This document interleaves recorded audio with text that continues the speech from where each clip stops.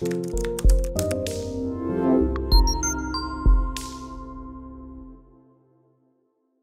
this is Highbridge Caravans Devon Branch and on this very uh, cloudy Queen's Jubilee Friday bank holiday day we're doing a walk around video on this rather sunny and lovely Benimar Mileo 286. So Benimar a Spanish company, they're part of the Trigano group, they're sold new exclusively through Marquis in this country. They're very highly cab spec, very highly conversion spec. Um, continental vans but anglicised with a British twist. So good kitchens, good lounges, but with the continental features of good beds and good storage. The 286 is an absolute bestseller. It's a 6.99 metre long van with a very large drop down transverse double bed over a big lounge, a great kitchen, a good rear garage for bikes and an all round good egg. And this one is a really really good one. It's one we've sold before, we've known it all of its life or most of its life and it's barely done any miles. So have a look at the window sheet, it's a Benimar Mileo 286 2016 on a 16 plate, four berth, four seat belts, better for two with occasional guests to be honest. Uh, Fiat Ducato 2.3, 150 horsepower, this one not a 130, it's got the bigger engine. Turbo diesel, only done 5,500 miles from new, 6.99 metres long, so it's in the cheaper ferry bracket, 2.35 wide, standard width for a coach built van these days, 2.89 high because it's got the drop down bed and it's priced at 48,995 which in this crazy world we live in is a good price for one of these and it's available and it's got a great layout. So good looking van based on the Fiat Ducato with the white colour coding. Uh, so say 150 horsepower engine, the standard was 130, so these got the upgrade one. They also got all sorts of other cab bells and whistles like uh, auto headlights, cab blinds. We'll go through that a bit more when we look inside the cab anyway. Condition wise, pretty much perfect this one. This one's story, first gentleman.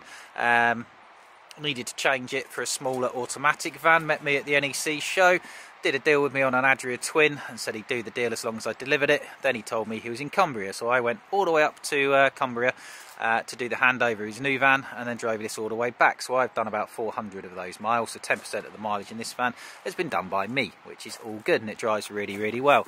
So walking around the outside, we've got electric heated wing mirrors. It's got a Sigma Thatcham Category 1 alarm system with a sticker there. We've got Truma gas and electric blown air heating and hot water, digitally controlled, the most popular heating system on the market. Mains hookup in there, leisure battery, and on the roof, uh, you can't see it, but it's got a good sized solar panel up there as well. This one, only thing it's missing, doesn't have a wind out canopy. We could fit you one if you wanted one. Price would be about 850 quid for a three and a half metre one. We've got a fly screen door on the habitation door, which is on this side. No need for an electric step because it's got a step built in, which is better because it won't break. You've also got an external gas barbecue point here as well, which is really stiff, but underneath there you've got an external gas barbecue point, and you've also got an external shower point as well for hosing yourself or your dogs or your cats or your parrots off. At the back, so there's no fixed bed in this, it's got a very large drop down front bed, but they've managed to fit a garage into the back where you'll fit two bikes. I know that because I've actually fitted two of my bikes in here when I needed to store them for a little while. So in the back there, good sized garage. So your freestanding habitation table lives in here. You've also got access to here from inside the van. Uh, it's got spare wheel added there because that wasn't standard on this model and a second access door across the back there. You've also got your front downstairs um, double bed infill cushion and some loose fit carpets. This area is heated, it's also lit up and it's got a mains plug and a 12 volt plug so if you're sat outside under your awning hooked up to the mains, you want to run some electrical things, you can plug them in in your garage, which is a useful feature. And that's all plastic. One of my favourite things about Benimars is uh, the fact that they're mainly built out of plastic. So in all the years that I've been selling motorhomes, Benimars came back into this country in 2016. I'm yet to have a damp one, and I think that's probably the only manufacturer, regardless of any price, that I've never found a damp one of. I know they can be damp, I've heard of them, but I've never had one, which is exceptionally good. I've had more damp Hymers than I've had damp Benimars, so fair play to your Benimar for doing that. At the back we've got a high level reversing camera, and uh, the monitor for that is your sat nav in the cab and it's pre-fitted for a bike rack so if you want it to keep your garage free for other bigger stuff you can put bikes on the back which is something I've done with my own van actually. I just find it easier uh, but we're a family of four so putting four bikes in and out the garage was a pain so we've put three on a rack one in the back and that gives us more garage space on the inside. Condition wise perfect. No marks. Or there might be the very lightest little scuff there. That'll probably polish out. That's your second garage door. Thetford set toilet emptying point and your bathroom window, double glazed uh, flush fit windows all the way around as well, which is a nice thing to see. Digital TV, TV aerial on the roof, and then the um, vents for your incredibly big and it is huge fridge freezer. That's a three-way one runs off mains electric if you're hooked up gas if you're not and 12 volt from the engine when you're driving. So you've got an onboard fresh water tank which is inside the van so it won't freeze up filled up through there. That'll be about 100 litres. And then a gas locker in there where you'll fit a couple of six kilo gas bottles. And again condition I can't see anything on it at all. Looking at the cab spec so opening up the cab door we've got Remis concertina blinds on the front and side windows. We've got air conditioning, cruise control, steering wheel controls for your factory fitted uh, Bluetooth DAB stereo system with hands-free phone calling. You can hook up your phone via Bluetooth or you can attach it via the auxiliary inputs which are down there. That's also got TomTom European sat nav on it and a CD player as well which is something you don't see anymore. Um, auto headlights. You got that sigma alarm system with a key code pad there. If you need to code in any extra fobs or turn it off and your fobs have all disappeared. Uh, twin swivelly cab seats nice sort of suede velour upholstery as well. No plastic which is good. And yeah all lovely on the outside. It's all lovely on the inside as well this one in furnace let's, uh, let's wander inside so we've actually sold this van and the gentleman had to pull out unfortunately at the last minute. So it is basically fully prepped and ready to go bar a valet. So currently we're working on about a six week wait from point of purchase to collection. We're so busy but this one you could have pretty much straight away. Just needs a quick valet but it is mint in fairness to it. It's in lovely condition. Um, so anyway you come in to a big front lounge and then to the rear of the van. You've got a really big kitchen a really good bathroom and a really big storage locker. So we'll look at the lounge first anyway so as you come in the van, you've got a CBE control panel, which you'll see in loads of motorhomes. Very simple to use, buttons instead of touch screens, which is great.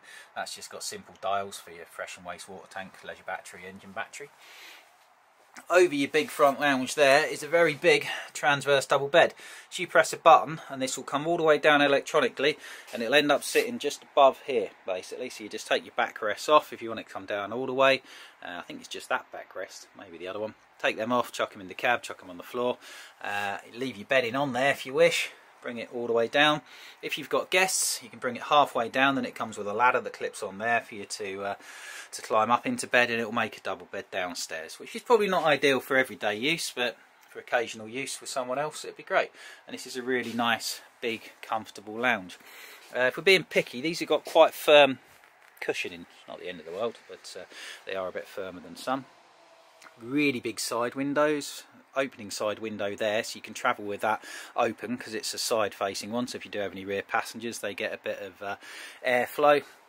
Nice level of plug sockets. You've got a main socket and a 12 volt socket to run off your leisure battery there for charging your phones and things. You've also got a USB socket up there and a beautiful big opening panoramic skylight where you can look at your Devon sky up there Looking back down the van, we've got a clever height adjustable TV brackets. You can put a TV on there, raise it and lower it depending on the position of your bed, and two seat belted travelling seats. Simply remove this panel here for leg room, or if it's like our one, one of our kids uh, travels with their feet up there. Very comfortable way of getting around. Practical light coloured vinyl flooring. That's the control panel for your Truma digitally controlled gas and electric heating and blown air uh, blown air heating and water heater. Really good kitchen. This is one of the things they do when they anglicise these vans, so they make it UK friendly. Um, they put in a really good kitchen. So you've got a proper decent size oven and grill that looks like it's barely been used, and a two burner gas hob with one mains electric. Good sink with a uh, clip-on draining board there. That'll just go on the side. That's a nice deep sink draining board there.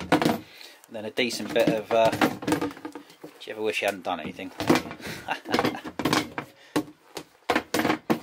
Anyway, you get the idea. and a decent bit of workspace there. And a microwave that it's at decent height as well, which is great. Not that I know how to get into it. 12 volt socket there. There'll be a main socket around as well for this kitchen.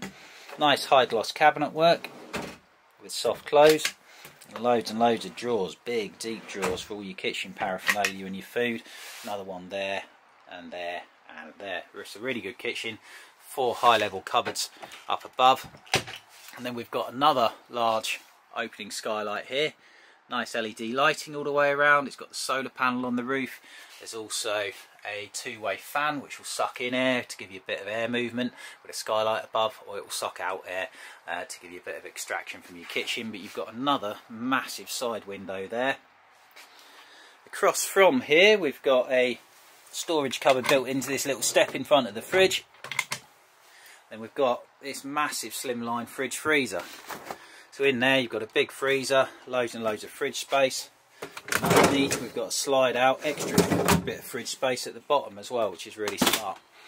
Little storage cupboard above it for some extra stuff with your TV aerial booster point in there.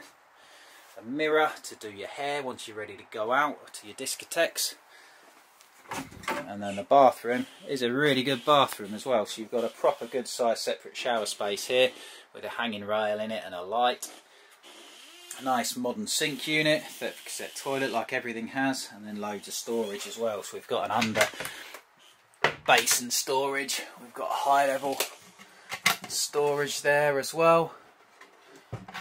Got another mirror with lots of little cubby holes down the side of it.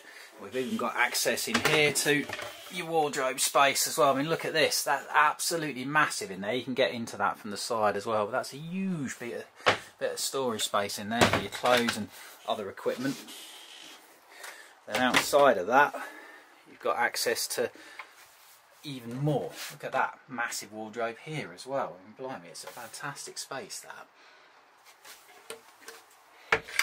Cleverly, to help you access that space, you've got pull down steps here, so you can pull down your steps, stand on them, and you can get all the way around the corner into your storage area. Very well thought out. The other thing you can do if you want to access your garage is access your garage, which is great. If you've got a doggy and you want to keep your doggy in your garage, not that everybody would do, but if you do, then doggy can go away in there. Final one, which is, I just love that, look at that. Huge storage for food, cereals, tins, everything like that. Really, really good.